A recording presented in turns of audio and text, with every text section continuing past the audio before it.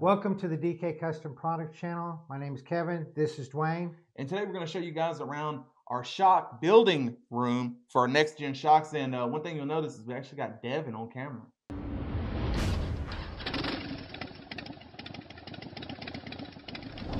So before we get into the uh, tour of the shock room with Devin, as you said, we finally got him on video.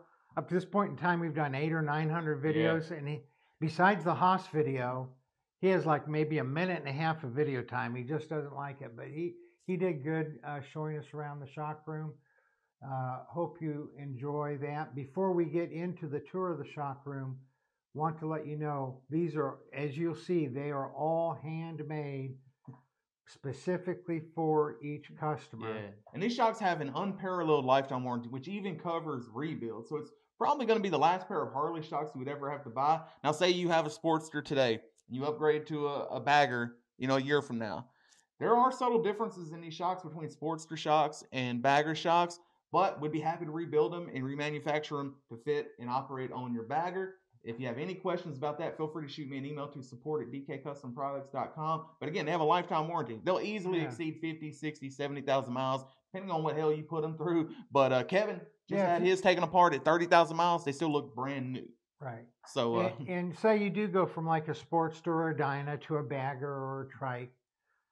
Yes, we're gonna the, the springs are gonna change, the internal valving is gonna change, but the body and the shock eyes and Yeah. the spherical bearings, all that stays the same. So it's something that you know you can save a lot of money on, as you said, because it is the last shock that you will need to get, even if you do need to have it rebuilt with different valving and springs if you change up the bikes. Yeah. Now, if you watched our recent video, we said that we did a soft introduction of these, but we recently made the announcement of our NexGen shocks, and we'll put a link to that video in the corner above. So, without further ado, here's Devin. basically, as you can see, we're in we're not in our main shop. It's just too dirty in there. There's too many dust particles in the air. It needs to be in a semi-clean room environment. So we're actually out in a outbuilding uh, by its own self, just for the shocks here. I mean, we try to keep it clean. I mean, it's not vacuum sealed or nothing like that, but it's we keep it pretty clean. All right, so over here we have most all the parts laid out. So you can see here individually, every part will have you know little customizations done to them to to make them perfect for what we're trying to accomplish here. Um, I mean everything from assembling you know the valve stems and the valve cores. You know every single little step. A lot of this we make in house. Some of it we have out uh, manufactured outside of house uh, currently, but we do plan on you know moving more of that in house. This section here is all like the intimidator valve. That's kind of the magic to it, and that's all the individual components to it that have to be assembled fitment tolerances and all of that are critical to have the quality of the part that uh that we're looking for. But that's just kind of all laid out individual components. We try to prep stuff, do stuff in stages, just like this one part here. You know, it's got heavy duty spherical bearings in it, circle clips holding it in place. The valve stem, valve core, O-ring inside of there, all of this is pressed in and, and pre-prepped. All the cans have to be cleaned out. We screw the adjusters on them, have them ready to go. Course, we got the bottom shock eye. Also gets the uh, heavy duty spherical bearing in it with the circle clips holding it in. So just different levels of uh, preparation for assembly. Um, here's a gland. You know, it's got uh, two seals in it, uh, a bushing, backer, bearing that's pressed in, O-ring there. Everything has to, you know, basically be perfect on these for it to work. All those are already prepped, ready to go.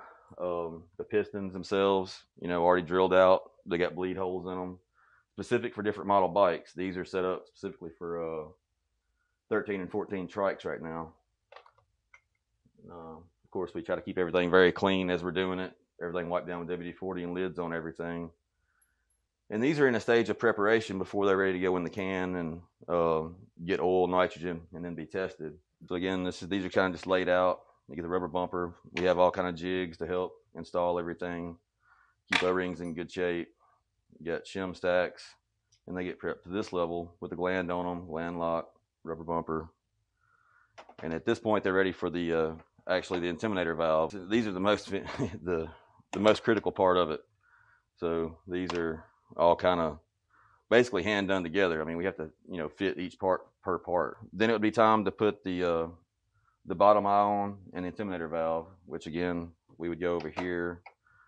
For this, we've got uh, different vices and fixtures. They would go in here. Everything's torqued to spec, red Loctited in place. And at that point, you would have this. And that's basically all the moving parts of it. But then they have to be put in the can. What we'd actually do is we would set the depth of the divider cup inside of the shock. Then it would get filled up with oil. This goes in, gets clamped into place with the divider cup in there. Then the top goes on and everything gets tightened down, sealing everything off with it fully 100% full of oil. Then we'd have our cavity at the top for filling with nitrogen. We use a premium um, shock fluid for these, uh, full synthetic for the anti-shearing properties of the oil. That's for all the valving and you know going through all of that multiple cycles a second sometimes. All of our uh, shock ends get a, a spherical, heavy duty spherical bearing pressed in. It's actually a press fit. It doesn't need the circlip, but that's just there for backup.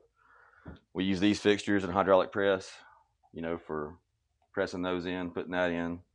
After the inside of the shock's been put in, the oil's in it, uh, the cap's on. Well, again, we use vices and fixtures to tighten everything down. And then we actually run 200 psi of nitrogen in it to test. You know, we're, we're checking for leaks, we're testing everything. So we fill it with 200 psi, and at this point, it's got oil all over it. It's nasty. So then we've got a heated ultrasonic cleaner over here that we put them in for about three, four minutes a piece. It would be warm at the time, breaks down all that oil, then we can clean it off. Again, it's ultrasonic. It will mess the uh, the recording equipment up if we cut it on right now. So once it's cleaned off, then it comes over here. We've got 200 psi of nitrogen in it, in it at the time. So we take the nitrogen out. We make sure that it's still got nitrogen in it. We, you know, we've got it in a water bath over there. So if there was any leaks, we would have seen it there. But then we let the 200 psi out, and then we fill it to the psi that it gets uh, is required to give to the customer.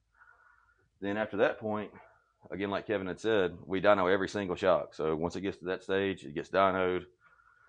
Um, we make sure everything's good with it. It's just specifications, and then it goes up up here on the wall, and then from that point we put the uh, valve caps on, springs, perches, and that's a done shock. So as you can see, there's a lot that goes into those shocks. And man, we make these shocks for Sportsters, Dynas, touring models, trikes, in 12, 13, and for trikes, even 14 inches. And if you want to get your hands on a pair of these shocks, you can always find them at dkcustomproducts.com. If you have any questions about fitment at all for your model or any questions in general about these shocks or anything we offer, shoot me an email to support at dkcustomproducts.com.